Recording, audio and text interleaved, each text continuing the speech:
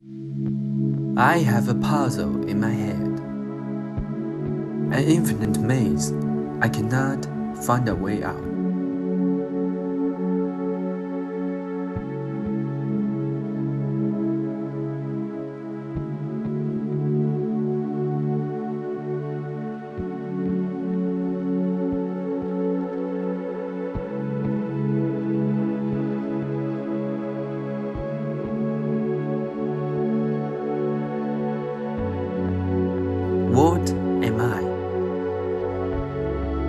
A name or a title?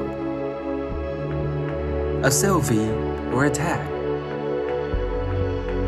A data or a body? A race or a nationality? A being or a history?